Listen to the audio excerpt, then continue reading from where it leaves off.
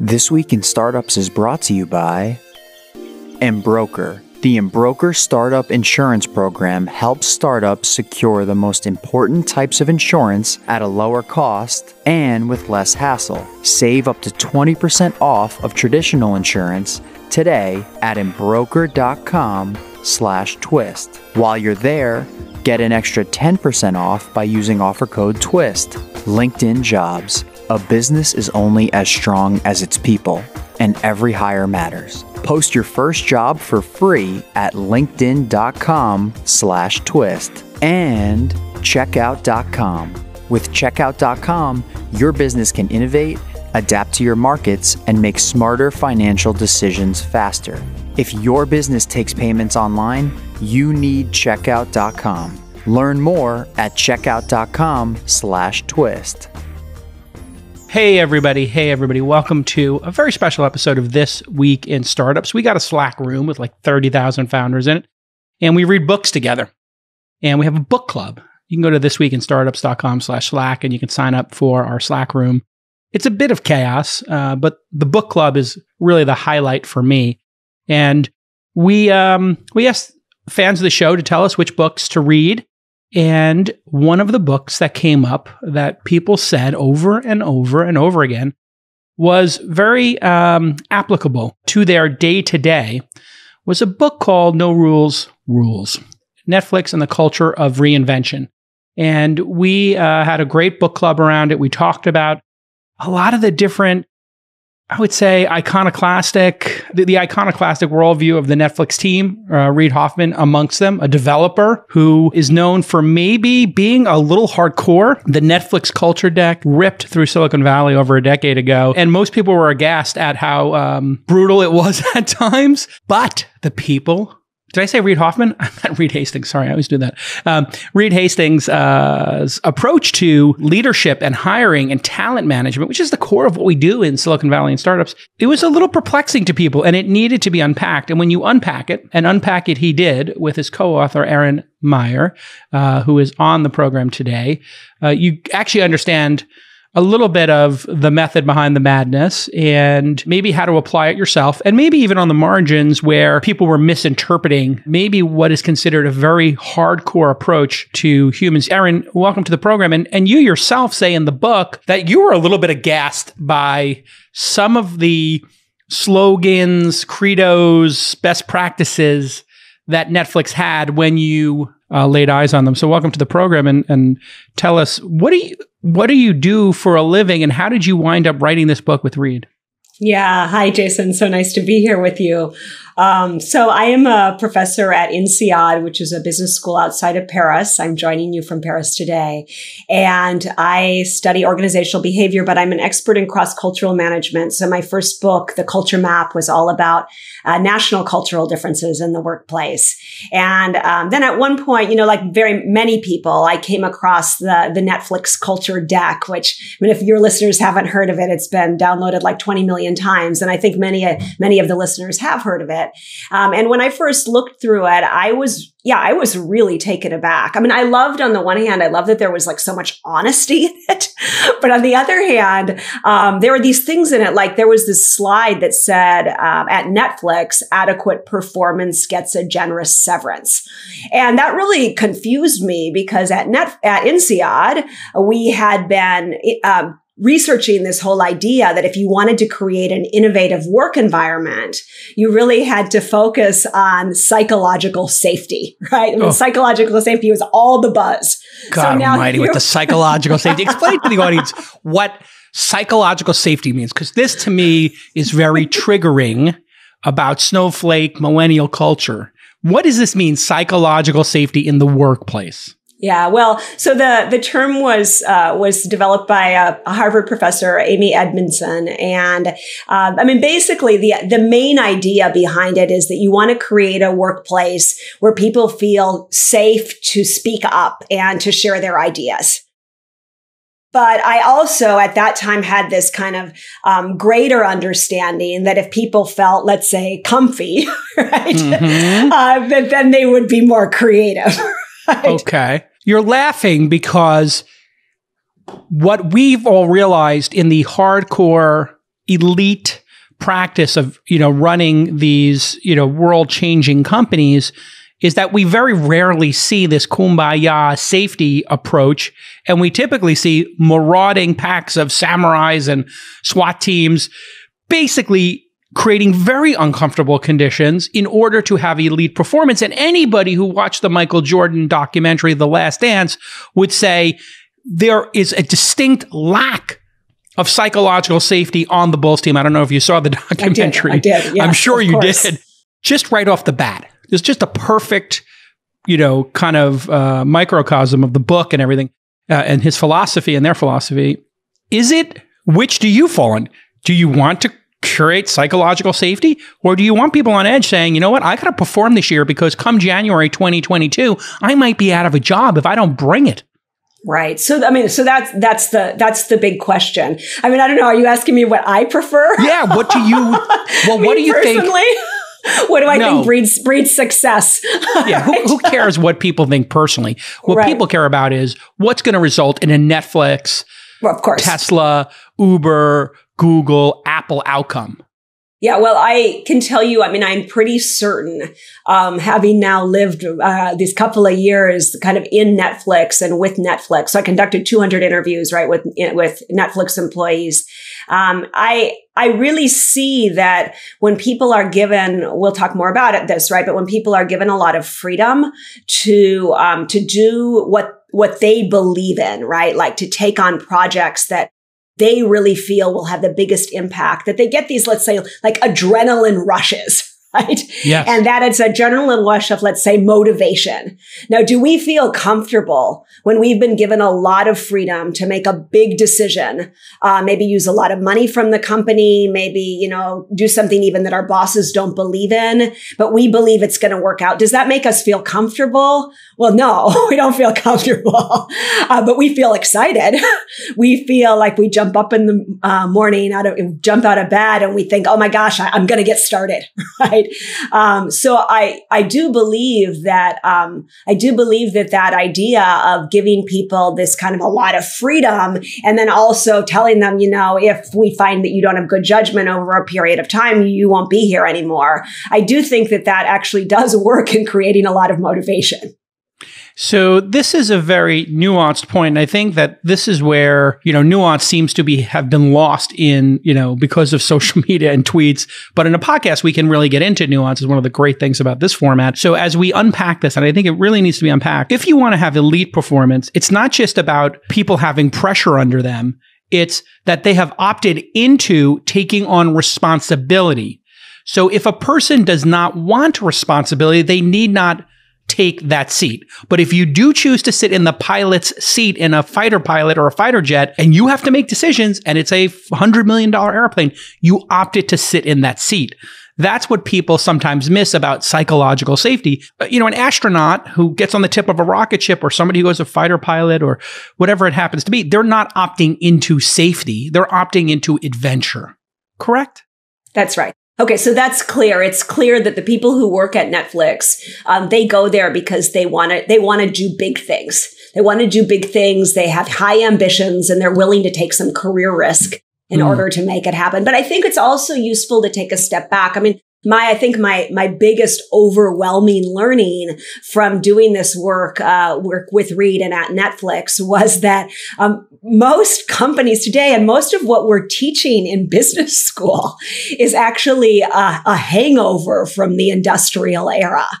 And, you know, what I mean by that is that, of course, during the industrial era, which powered our economy for a long time. So, of course, we're still doing those things. Uh, but during the industrial era, we were focused on error prevention, you know, maximizing efficiency, replicability, and consistency, because that was what we needed when we had, uh, when we had these industrial plants. And of course, you know, some of your, your listeners, I imagine, are working in these kinds of situations today where error prevention and replicability is their primary goal. But, you know, in a, in a growing number of organizations and teams today, the, the biggest goal is no longer error prevention or consistency, the biggest goal is innovation and flexibility. And if we're gonna, if we're gonna, um, it's almost the opposite, right? So if we're gonna turn Yeah, towards it is, in innovation and fact. flexibility, yeah, we have to think differently, right? I mean, I think it's it's really worth unpacking there because if you were trying to make you know, take Starbucks from 10 locations to a 1,000 locations. You're not looking for each Starbucks manager who comes in to want to light a fire under the asses of their baristas and, and make them feel unsafe every day coming to work and overall feeling unsafe when they go to a new city. You want them to consistently produce a frappuccino that if I taste it in Shanghai or Singapore, you know, or Salt Lake City, it tastes the same. That's what you're going for, it, just as one metaphor amongst many.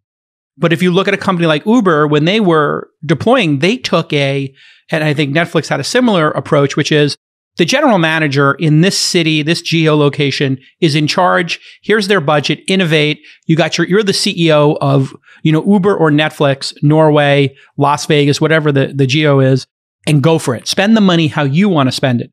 But that is nerve wracking because some people, maybe a lot of these MBAs, I'll be totally honest, no offense, they might want a playbook. They want might want you to tell them how do I execute, how do I get the high score? Because MBAs, let's face it, they've been trained their entire life. If you get into Harvard or Stanford on how to ace tests, so there are a bunch of you know rote learners who you know eh, go in and run these companies. That is part of the conflict here. Is the entrepreneurial pirates versus these rote, you know, high uh, scoring aptitude test people, right?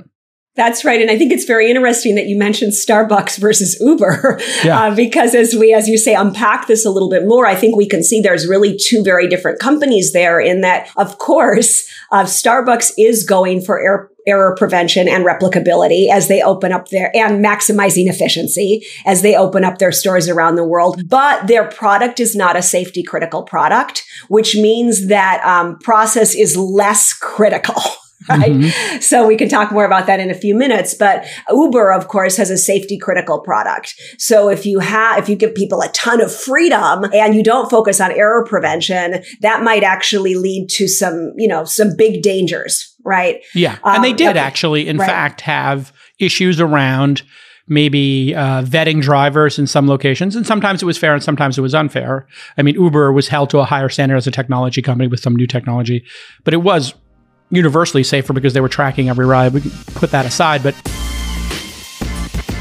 hey, everybody, I want to take a minute to thank Embroker for sponsoring This Week in Startups and supporting us all year long. What a great company. And it's very simple. You need to have insurance.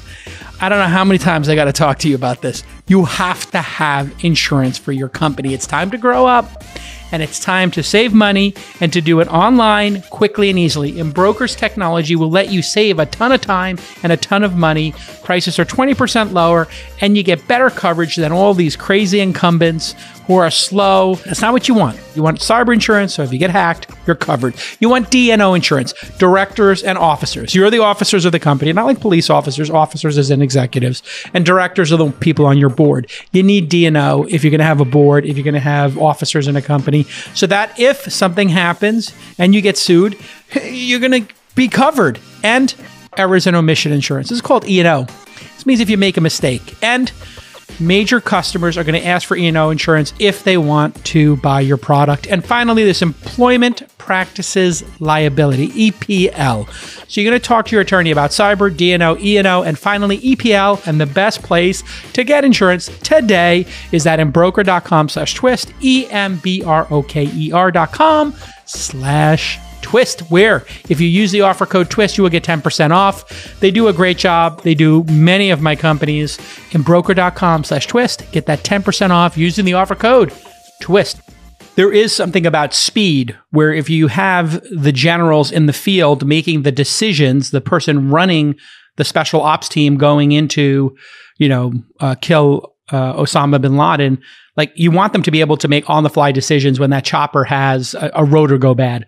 You, you, don't want somebody in command and control making that decision, correct? That's right. So, um, you were talking earlier about uh, about psychological safety and how important it is to make our, our employees feel safe. But I think that one of the big things that um, that that people have been missing when they've been kind of looking at the Netflix culture is that this isn't actually about like safety. I mean, or, or lack of safety. That's not the big question, right? The big question is freedom, right? So it's, it's the freedom that breeds the success. And I'm just going to, Jason, I'm just going to tell a quick story from the book, if you don't mind, but I think it's kind of like the most important story to illustrate the point. So when I first interviewed Reed, he told me this story about his first company, right? Which was this organization Pure Software. And when he opened Pure Software, like most small entrepreneurial companies, it was just a small group of people who were operating, let's say fast and loose, right? So they had, they had no, no rules or process that were guiding the way they worked. They were just using their judgment to do the best they could for the good of the company, right? But then the company grew and it grew to a couple hundred people, a couple thousand people. And of course, as it grew, some people did stupid things and other people took advantage of the freedom. So Reed responded to that by, uh, by putting in, in place, you know, a lot of process like KPIs and MBOs and, uh, and rules like travel policies and vacation policies, right? So he, he dummy proofed the system. right? Uh, but as he always says, what I didn't realize is that if you dummy proof the system, only dummies want to work there, right? So then as that, as all those processes started to kind of take root, uh, a couple of things happened. And one is that the most, like say, like crazy mavericky employees and the ones who were really adding, let's say, kind of the most innovative value to the organization, they left because they didn't want to work in a place that they had a lot of controls. And then uh, the people who were really good at following process, they were, of course, promoted into senior positions. Right. They drew within the lines. That's right. And they were not the most flexible people on the planet. So, uh, so when the environment shifted from C++ to Java, they were not able to, to shift quickly.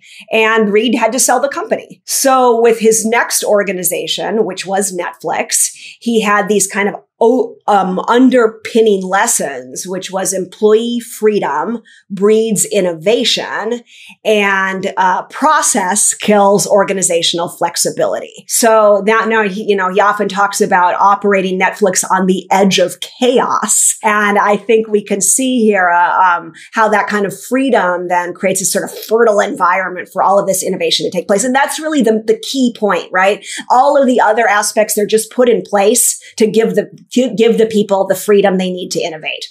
And this is why I think it's important you, you all read the book because you have to get the full 360 degree view of what's happening here because if you pull out specific pieces of the culture of the culture deck or something you've heard or a story or you know a little anecdote it's it's more the holistic a process you can't just take away all the rules because if you have a bunch of people who love checking the boxes, they are in fact going to lose their minds because they're going to say, just tell me what to do. And then you might have people who go to town and abuse the fact that there's no policies like unlimited vacation or no vacation policy or no travel policy, two of the most polarizing things that I want to ask you about next. All right. So the two polarizing things I think uh, that come to mind that people have heard from the outside that we should unpack and just put in context. Number one, the travel policy uh, expense policy, and the vacation policy. These are kind of things that employees are always fascinated with. I find people put too many cycles on them, but it's just kind of the nature. People really care about and covet their vacation days. It's become a bit of a game and a gaming of the system. And then obviously expenses are a never ending game that people play. Some people just look at what are the max limits I can do and they try to game it. When I was starting my career, I was working at Sony Music. At the dawn of the internet age, people would buy business class tickets, downgrade them to coach, take the cash uh, or credits, and then use the that to buy tickets for their vacation. It was, or people would, when we were, people would get stacks of receipts from their friends, and they would just fill out their own receipts and then bring peanut butter and jelly sandwiches, but put you know hamburger fries twelve dollars, and that, that was how like the the middle class that Sony made an extra two thousand dollars a year in bonus was by putting in Fugazi uh, receipts. Let's talk about those. No vacation policy. I heard from people was like people didn't take their vacations; they were under so much pressure, nobody would ever approve them. Yada yada yada. Explain how that was deployed and if people wound up ultimately taking more vacation, less vacation, or about the same. Right. Okay. Where so did the it end up? Netflix. Yeah. So the Netflix policy at the the vacation policy at Netflix is take some. Okay. So there is Take a some. policy. Yes. And they do Um, actually work on the words in these policies. That's right. um, Take some. So yeah, and the I mean, just like another example, a newer, a newer one. Their their maternity and paternity policy is uh, do what's best for you and your baby. Okay, that one's new since the book came out. So yeah, I mean, I was really concerned about this too when I first read about it. I thought, well, you know, one of two things is going to happen, right? Either people are taking no vacation at all, which is, you know, bad for them and bad for their families and ultimately not good for the company, or people are on vacation all the time. Right, which is like the entrepreneur is a nightmare. Um, but uh, so at Netflix, they talk about leading with context, not control. And what that means is there aren't any like, you know, policies telling you how, what, what number of days you can and cannot take off, but uh, you do get a lot of um, of soft guidelines from your manager and the leaders around you about you know what they expect people to be doing, right? So, um, I mean, one of the things that's uh, quite interesting when working with Reed is that he takes uh, six weeks of vacation a year, and he talks a lot about his vacation. There's a So little I- peacocking going on here about vacations. Uh, but Um, there was a but- reason for that. That's right. I mean, the reason to do that is that if he doesn't take vacation, if he does, if people don't see their boss taking vacation, it's clear they're not going to take vacation. Right. Um, so, I mean, imagine that you're hired into a company and they say, okay, the vacation policy is take some. At first, that sounds really exciting. And then you arrive and you're like, okay, well, what are other people doing? Right. And then you look at what they're doing and you try to do kind of the same. And, you know, that's human nature. So if you see that your boss is taking six weeks of vacation and those around you are taking, uh, you know, five or six weeks of vacation, then you're likely to do the same thing. And if you don't, if you only take one week and people start saying to you, huh, seems like you haven't been on vacation in a long time, right? Or they're showing one another all their pictures of vacation and you never have any pictures, right? That's really, I think, actually very powerful. So what I did see at Netflix, I mean, when the company was smaller, they really focused on this, um, on this modeling, right? These modeling of these kind of soft messages. So, you know, for example, Reed taking six weeks of vacation and talking about it a lot and his managers all being encouraged to take a lot of vacation and talk about it a lot. So then it just works, right? But, you know, when I, Netflix is now a bigger place. So I did certainly see a lot more variance from one, one part of the company to another, depending on what the leader of that department was doing. Uh, you know, and that's, but that's, I would say that doesn't bother Reed too much because when you're operating on the edge of chaos, you will have a lot of inconsistencies. And, you know, the best that he can do is kind of try to continually get a feel and really encourage those areas where he sees burnout or things aren't working well, really encourage people to, you know, take the time off. Well, and when you think about it, if if he is really up against, and he knew that this day would come, the Disney Pluses of the world would show up, and he would not, you know, just have a straight path to, you know, sweeping up the Marvel films and Marvel series and putting them on Netflix. At some point, he was going to have to go head to head with some really serious competition. He wanted a fast team that could sprint, and if the team is going from an all-out sprint for 26 miles versus very serious competitors, and you've got to stop and say, let's debate you know, uh, our travel policy, or ha- let's look at how many days people have taken off. It's a waste of time. It's a waste of time that could be put into finding the next Orange is the New Black or Queen's Gambit or whatever it is that moved the needle forward. Correct? That's that was his main point. Yeah, well, and I think that actually the main reason that they don't have the vacation policy or the travel policy, it's just symbolic, right? And uh, you know, the symbol. Oh, is- really? Oh, I- sure. I thought it was more practical than symbolic. Oh well, certainly he doesn't want the the wasted times and the process, but um, you know these symbols they're important. The symbol, look, um, I trust you. I trust you to live your life the way you want to live your life, and you know you should be the person you want to be, and you know you're adults. So then people, oh, okay, I'm trusted here. Here I can I Ah. can organize my life however I want. So now I'm I'm going to really behave in a way that shows you that you were right in giving me that trust. And, you know, those symbols I think are actually quite powerful in encouraging re- responsibility.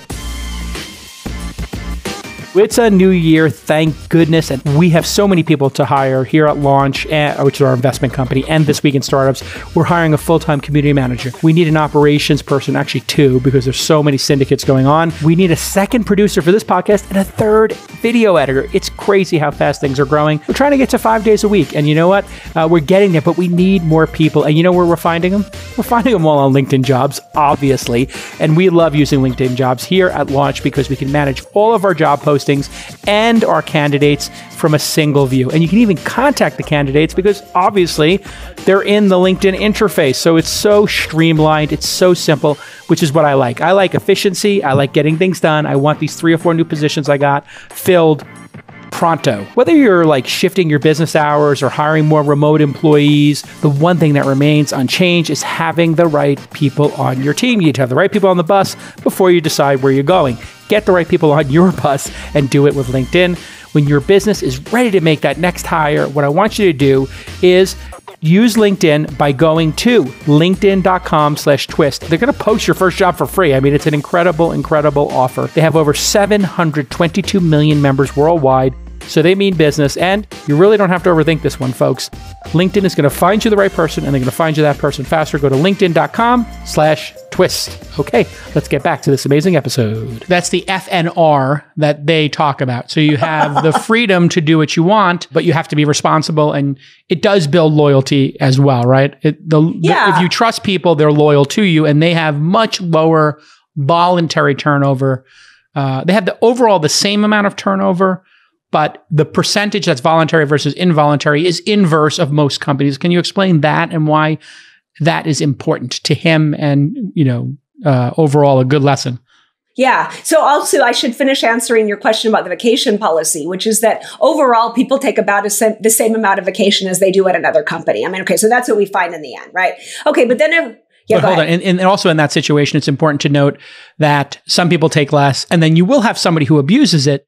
But like credit card abuse, you don't want to slow down 100 transactions at Starbucks where people want to get in and out to ask people for their driver's license if one out of, you know, $100 is fraud. You'd rather eat the dollar in fraud and not inconvenience the other 99 purchasers to take out their driver's license, correct? That is kind of how they look at it.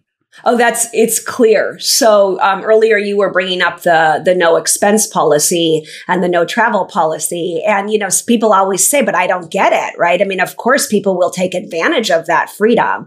And the the CFO and the, their uh, previous CFO did tell me that he thought that the the travel costs were probably about ten percent more at Netflix than they would would need to be if they had travel policies. But the benefits that they get from having giving giving employees freedom and letting them feel like, oh, you're you're an adult, we treat you like an adult. That was way beyond the benefit was way beyond the ten percent. But I think when you want to think about abusing the system, I mean, uh, that's the big worry. How can we reduce the error? And we did find some, right? We talked about about those things oh about my this Lord, guy. There was one person running scams. Yeah. there was that guy in Taiwan. Yeah. Right?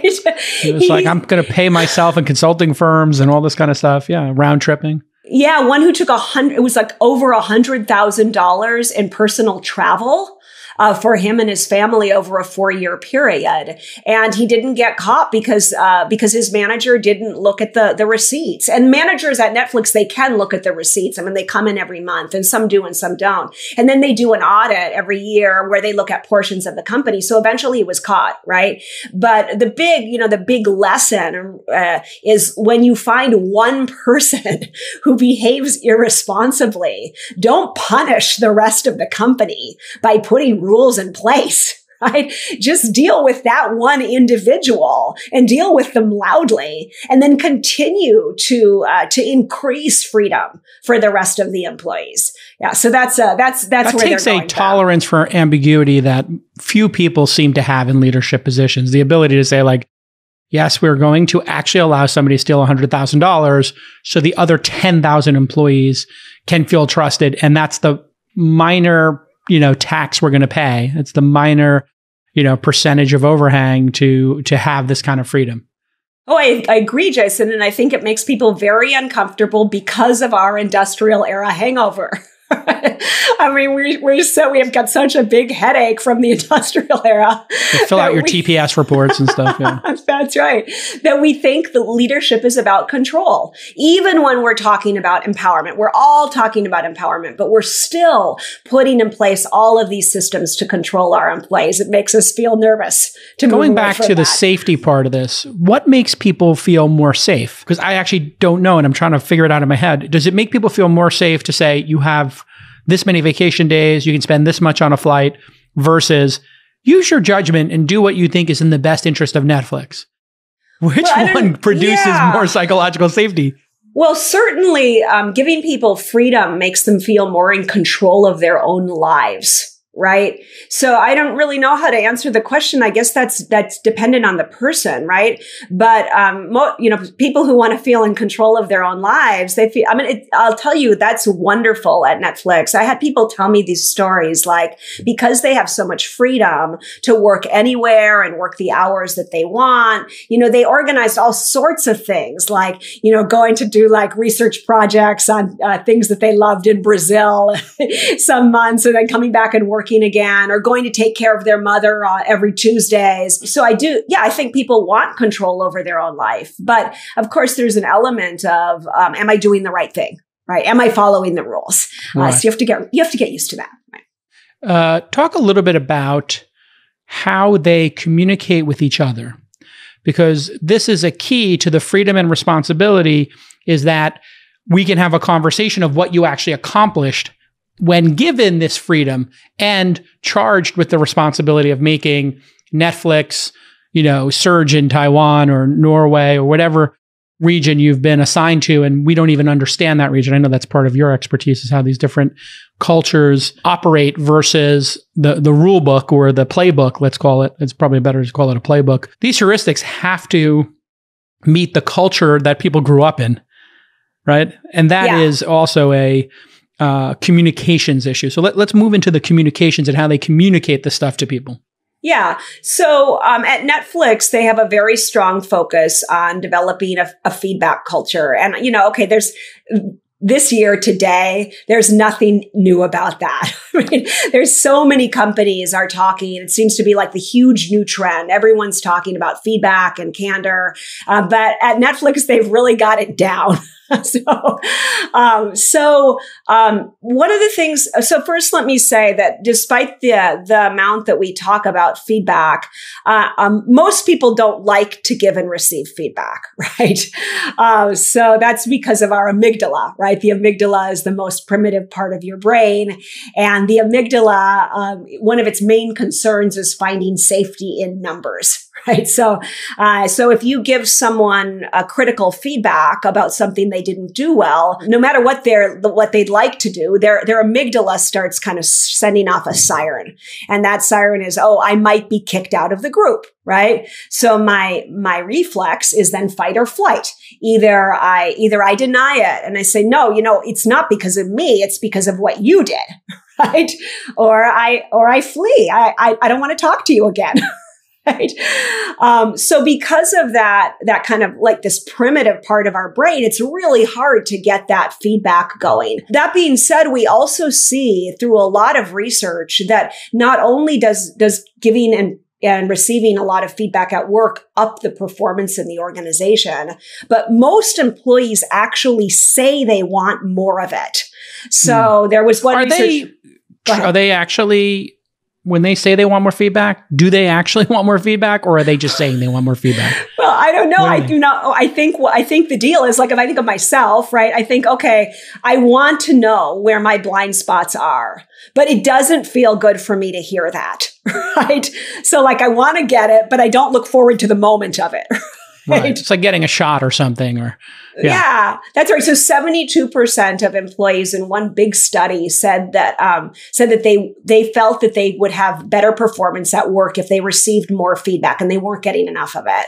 So just, I mean, I think just simple things. I mean, like one, one thing is putting feedback on the agenda, right? So like if we have a, me- a meeting every month that the first item on the agenda or the last item is feedback. And at the end of the meeting, you give me some feedback feedback about what you think I could do to improve, and I give you some feedback, right? It's super simple, right? But when you create those spaces for the feedback, suddenly I, I, I say, oh, I think I'll tell her that thing I wasn't going to tell her, right? Right. You're giving people the green light, and th- sometimes people, oh, you know, we want to be polite to each other. Where we want to create safety.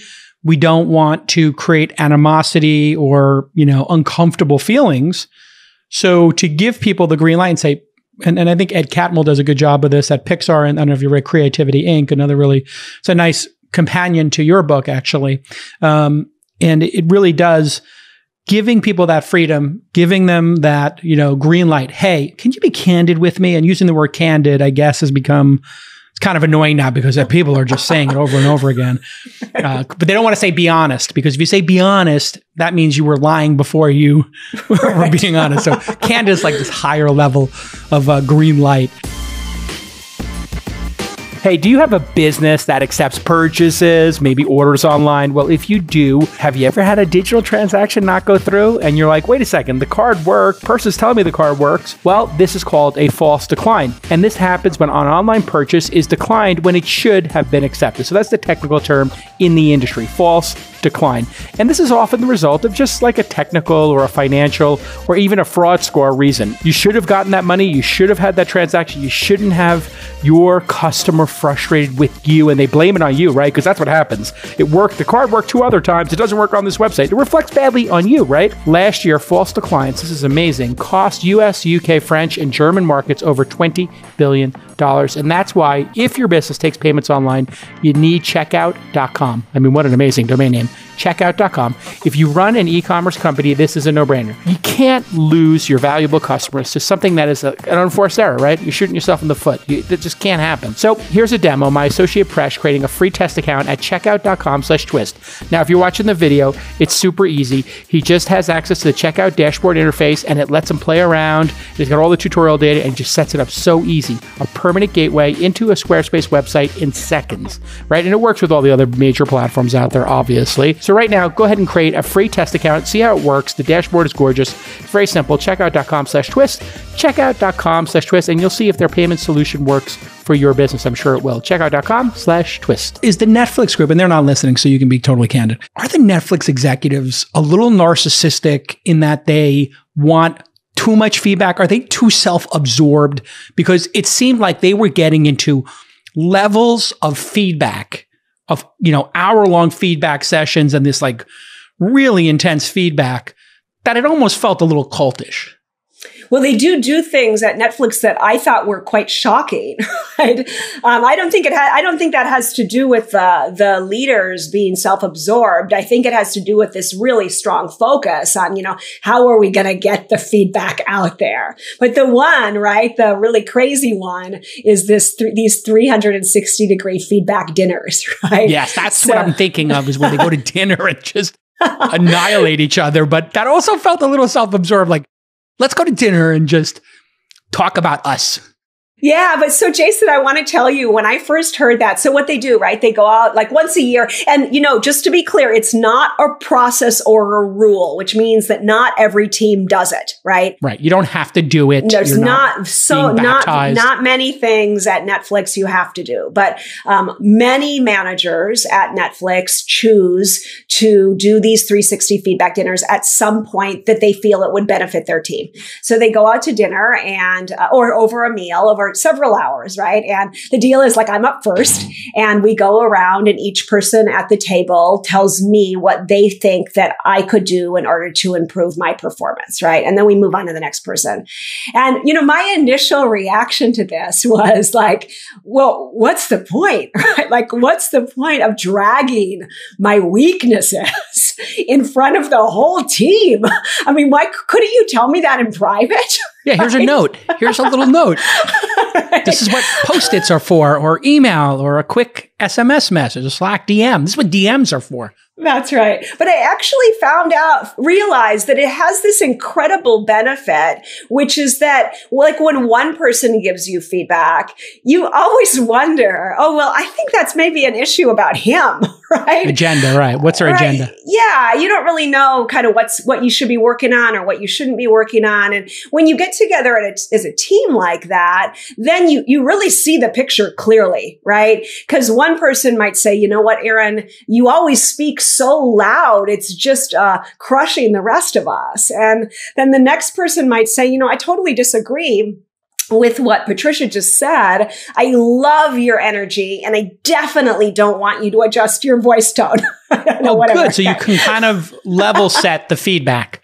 Somebody might feel you're, I don't know, not uh, energetic enough. Another person might feel you're just perfect, right? And it, you can level set that. It might be, it's like when a group, you ever have a group do the Myers Briggs together? Yeah. And you're like, I can literally guess people's like ENTJ or something like that. Right. I got so good at it at one point. I was like, yeah, you're like, you know, INTJ, you're INTP. Like you could just kind of like, just from knowing the person, but then you know, like, oh shit, I'm like one of eight extroverts on this, in this group. The other seven people are introverts. Okay, that explains everything, right? That's that's right. So with this, right, then you leave feeling like, okay, well now I understand what, you know, that person wants thinks I should do differently and that person I think I do differently. But really I understand, you know, from the the entire group that one thing that I need to be working on. And many people said to me that although they found those dinners always uncomfortable moving into, hmm. that they realized when they got there that, you know, everyone was trying to be helpful and they knew that they were being like watched by the team. So they wanted to be kind and that it was the greatest, the greatest developmental moments of their life. That's what I often heard. I actually started doing them at INSEAD and I can tell you, I found them pretty useful, Jason. You did them That's in a crazy. university setting in France. Yeah. I have, yeah. I really? Have. have. they have they reported you to HR yet? well, you know, we talked about it ahead of time, which is what they do at Netflix too, right? Like, what do you guys think? Do you think we could pull this off? Got it. Get people to useful? opt into it.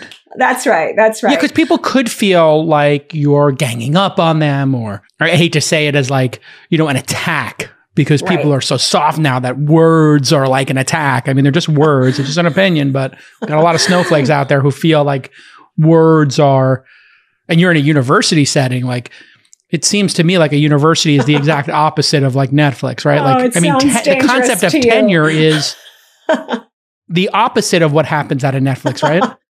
Well, okay, maybe, yeah, but I don't need to go into INSEAD, but it actually, it is true. it is true at my business school too, that the faculty get a huge amount of freedom. And ah. because of that freedom, we have a lot of innovation. I mean, I, oh, I see good. the, that clear, that parallel really clearly. And also, I mean, supposedly, right, when you get, when someone gets to tenure, it should be because they've really proven, uh, that they are, um, that they are a stunning, that they are a stunning colleague, right? That was their language, a stunning colleague. You want to yes. be able to say these colleagues of mine are just extraordinary. They're stunning and how good they are.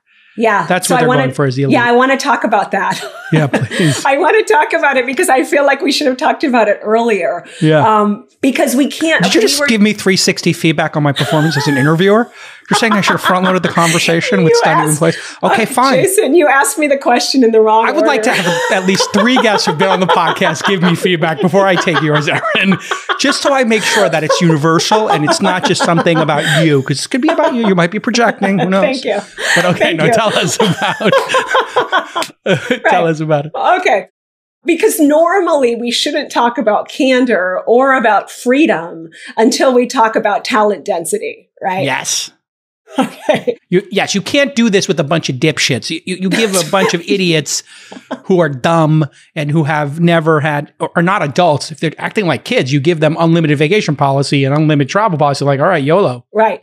Yeah, so that's like the whole foundation of this. So if we kind of go back to what then, okay, so Reed had this epiphany. Okay, I'm going to open up Netflix, give people a lot of freedom. But he also um, realized, like I guess all the entrepreneurs listening to the or to the, the podcast, that at a point there's enough, there's so much complexity in the company that if you don't put process in place, that the organization is going to descend into mayhem. Um, so he tried to think about how to mitigate that, and he thought, okay, well you know, in most organizations, uh, the top performers, they don't really need a lot of rules and process. We put those things in place in order to deal with the kind of like less amazing people. So what if we tried to create a work environment that really was, you know, as much as possible only those top performers? Then we could give them a lot, a lot more freedom, right? And then what if we got this candor going, which would increase talent density more, which would allow us to give more freedom, right? So that was the, that, that's the, the whole, the whole belief uh, behind it. And the term talent density, I mean, a lot of people say, okay, well, that's great for Netflix. it's great right. unlimited Netflix. budgets. They got a money printing machine in the corner That's with, right. and they're just shoveling hundred dollar bills. You know, like with with giant bulldozers into like a warehouse of hundred dollar bills. They got unlimited resources. Easy to say. Exactly. Right. and they right. always Those- overpay, right? That was the other thing when you talk about talent density. Talk about these insane stories of recruiters calling and what the instructions were when a recruiter called you at Netflix. Okay. Okay. Yeah. Crazy. We get there. Okay. So the, you know, may, I guess, um, I guess, Jason, a lot of our, your podcast listeners are maybe engineers. I don't know. I mean, if they Well, are. the founders, startups, yeah, some Yeah, of them are okay. introverted, you know, technicians, and other ones are sales executives and marketers who start companies. But yes, it's all startups. Okay, so I did not know about the Rockstar principle, but I know now that apparently most uh, most software engineers do know about that principle. So, uh, so the principle being that um, if you, um, based on an interesting research project, but that if you take the top software engineer, uh, that person is likely to pr- to provide more value uh, than ten to twenty five times the medium engineer, right? So if you have a certain amount of money and you could hire like eight medium engineers, uh, you might instead pool all that money together and hire one rock star. Right. Um, so Reed took that, that idea and he believed that that would be true for anybody who was in a creative environment, which makes sense, right? If you're Sure. looking for that, if you want to be as mar- as successful at marketing as possible, well, hire one amazing marketer, and you might find that that person will have bet more impact than like 25 medium ones, right? Um, so that's the idea, and the idea was you want to hire, you want to find the best, the best person, uh, pay them really as much as possible as necessary, not as much Right. as possible. Well, if you pay them twice as much and they're a 10x developer, you know, they, uh, uh, when one person looks at that, they say, oh my God, you're paying double. That makes no sense. And another person says, well, you got 80%, you accrued 80% of the value to the company by paying them double. If they are in fact 10x. That's right. So the idea was, you know, let's have a lot less employees and use our money to pay them a lot more. Right. And that's what talent density means. Right. So then we can give them more freedom. We've got more, more energy in the organization. And uh, we find that the kind of the energy, the energy spirals up. Right. And that leads to one of my favorite uh, research pieces, which is this idea that um, that performance is contagious. Do you mind if I tell that, Jason? Yeah, please. okay, so um, I had this um, this colleague, a business professor at another business school, and he did this research where he invited uh, four MBA students into his lab at a time. He uh, gave them a task and he rewarded them financially based on how well they performed. But unbeknownst to them, on 50% of the teams, there was an interloper.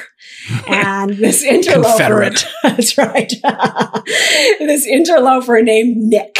So Nick was an actor, right? He'd been hired, a young actor. He'd been hired to act just like an MBA student, um, but to behave in a way that was a little bit like unamazing. So sometimes he would act kind of bored, like put his feet up on the table and text his mom, right? Or sometimes he would, sometimes he would act kind of jerky. Like he might say to the other MBA students, like, have you ever even attended an MBA class before? Right. And what was, what was fascinating is that, um, Professor Felps showed, uh, on team after team after team that even when the top the other MBA students on the team were, let's say, top of their class, that those teams with Nick on them performed at a 45% worse rate. And more interesting than that is that you can see that during these 45 minutes, the other three MBA students, they start to behave like him right? Like, like Nick. So like when Nick is behaving like a, a depressive pessimist, you can see that they come in, the other MBA students, they're really energized, but within 20 minutes, they're starting to look really bored. There's one video where you can see one of the MBA students actually put her head down on the table. she gets so tired. I guess Nick has just like sapped all the life out of her. um, and when he starts to act jerky, the others on the team act jerky too, right? But not just to him. That's the thing. They start acting jerky to one another. So, I mean, we, I think when we think about it, we all can say, oh yeah, I've experienced that kind of thing. But the, the issue is that in companies, most of us think about an individual performance problem as an individual problem, right? So we think, okay, if this guy is not doing a great job, that's an issue between him and me, his boss right? But an individual performance problem is not an individual problem. It's a systemic problem that impacts the entire, the, the energy, the creativity, the performance of the entire team, or maybe even of the entire organization, right? So that's, that's why. That's the no Not jerk rule. Yeah. You, you, and it's like regression to the mean, or what I tell people is like, when I was a runner, I used to run with people who were just faster and I would run faster. And then I ran with another group that ran slow and I would run slower. And when I was running with the slower group, I was in more pain. But being the last person in the group of five or six really fast runners was a, I, my performance was much better than being the lead runner in the slow group. And I much preferred being last, you know, that, that's why I hang out with people who are much more successful than me. That's right. why I do the podcast. I get to have smart people like you on, and then it just r- raises my average up. But it is true, right? Like you, the company you keep is something we've heard. You know, like it actually really matters. And and jerks and B players really infuriate A players, and that kind of disruption, whether it's de- you know acting depressed or being a jerk, whatever it is, people will model it around you. You'll just sap the energy out of the room. It's really important for leaders to be positive, uh, and optimistic and candid. And it really falls on them to set that example, right? That's right. And of course, uh, okay, so at Netflix, they say no brilliant jerks, which maybe does take care of Nick. But right. uh, your point is, um, which is, I think, the overwhelming lesson is that um, when you have lower performers on your team, they just bring down the entire team. And that's why, I mean, we have to go back to this really harsh expression that I started with, which is generous adequate, severance. yeah, adequate performance gets a generous severance. And that's not to, uh, to, you know, to create this environment where people are like sweating. Am I going to get fired? It's in order to create this environment where people are like, Oh my gosh, I love coming to work because I'm surrounded surrounded by so, so much talent. And, you know, that is actually what I see there. Stay tuned for part two with Erin Meyer, releasing later this week.